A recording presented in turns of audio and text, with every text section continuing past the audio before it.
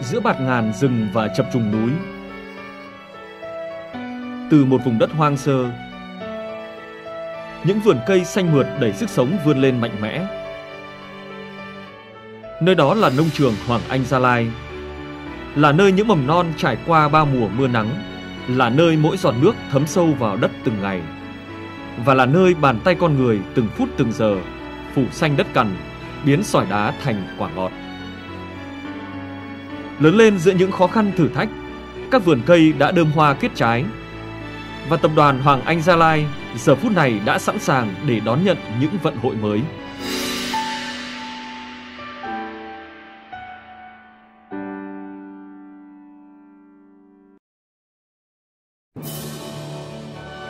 Từ khi tái cấu trúc, Hoàng Anh Gia Lai tập trung phát triển dựa trên hai ngành chính là nông nghiệp và bất động sản. Nông nghiệp là lĩnh vực được tập đoàn xác định sẽ mang lại những cơ hội kinh doanh phù hợp với lợi thế cạnh tranh của mình. Quỹ đất rộng lớn thuộc vùng khí hậu nhiệt đới với nguồn lao động dồi dào là nền tảng vững chắc để Hoàng Anh Gia Lai tham gia chuỗi giá trị toàn cầu với các sản phẩm cây ăn trái và cao su. Tập đoàn đầu tư vào lĩnh vực nông nghiệp tại khu tam giác phát triển Việt Nam, Lào, Campuchia trong phạm vi khoảng cách khoảng 200 km với tổng diện tích hơn 80.000 ha. Từ năm 2016, tập đoàn bắt đầu chuyển đổi chiến lược kinh doanh với trọng tâm là cây ăn trái. Nhờ công nghệ tưới nhỏ giọt của Israel và tiêu chuẩn Global Gap được áp dụng trên khắp những nông trường của Hoàng Anh Gia Lai, chỉ chưa đầy một năm, những vườn cây đã đơm hoa kết trái, nhanh chóng khẳng định được hướng đi đúng đắn của ban lãnh đạo tập đoàn.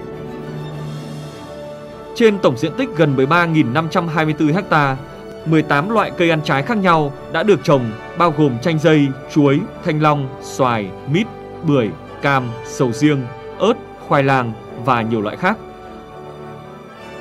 Ưu điểm của các loại cây ăn trái mà Hoàng Anh Gia Lai trồng là có thời gian từ lúc trồng đến lúc thu hoạch khá ngắn, giúp thu hồi vốn nhanh, mang lại dòng tiền sớm cho tập đoàn. Mặt khác với lợi thế về quy mô, Hoàng Anh Gia Lai có thể làm việc trực tiếp với các đối tác nước ngoài giúp tập đoàn có thể tối ưu hóa chi phí trong toàn bộ chuỗi giá trị. Sau một thời gian trồng 18 loại cây ăn trái, tập đoàn Hoàng Anh Gia Lai đã quyết định lựa chọn 4 loại cây chiến lược trong 2 năm tới sẽ là chuối, thanh long, bưởi da xanh và mít. Ứng dụng cơ giới hóa và kỹ thuật cao, Hoàng Anh Gia Lai quyết tâm theo đuổi phương châm sản xuất và cung ứng sản phẩm trái cây nhiệt đới sạch cho thế giới trong tương lai dài và bền vững.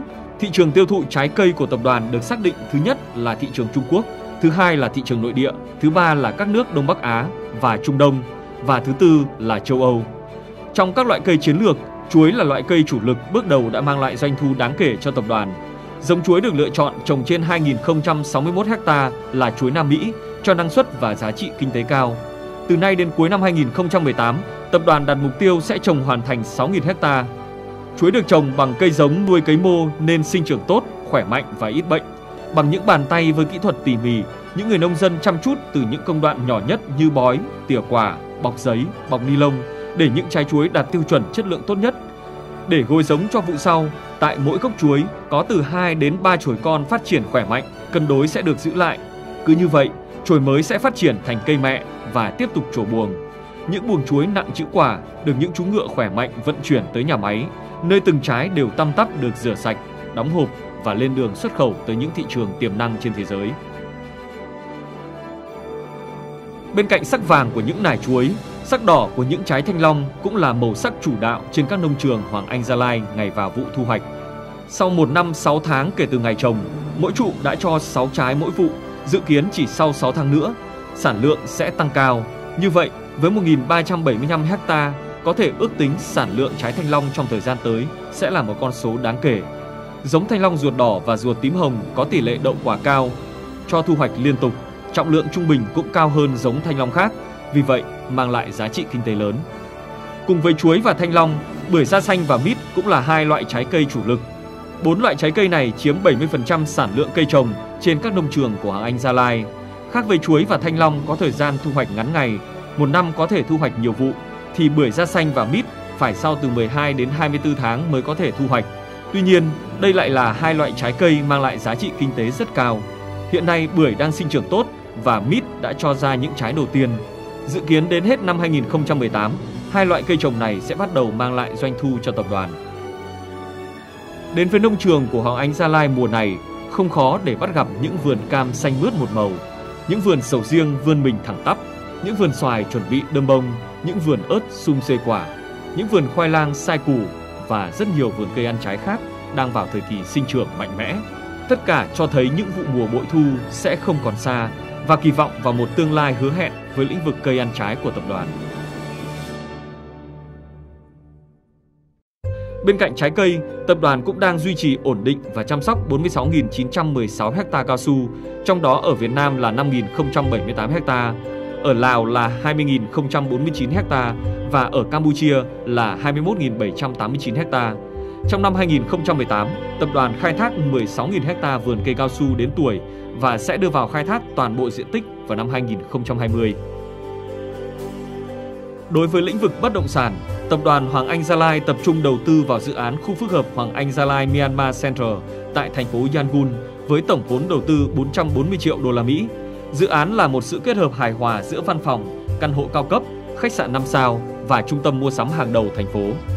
Giai đoạn 1 của dự án gồm một trung tâm thương mại và hai block văn phòng cho thuê với chiều cao 27 tầng và khách sạn tiêu chuẩn 5 sao Melia với tổng số 429 phòng đã đi vào hoạt động từ cuối năm 2016. Dự án cũng có đóng góp quan trọng trong chiến lược phát triển kinh tế xã hội của tập đoàn khi tuyển dụng, đào tạo hàng ngàn lao động địa phương, đồng thời trang bị kỹ thuật, chuyên môn giúp người lao động có thu nhập tốt và đời sống ổn định. Hiện tại, giai đoạn 2 của dự án đang tiếp tục được triển khai với các hạng mục 5 block 28 tầng, hơn 1.134 căn hộ và khu trung tâm thương mại cùng văn phòng cho thuê với tổng diện tích 126.000 m2, dự kiến sẽ hoàn thành và đưa vào khai thác cuối năm 2019.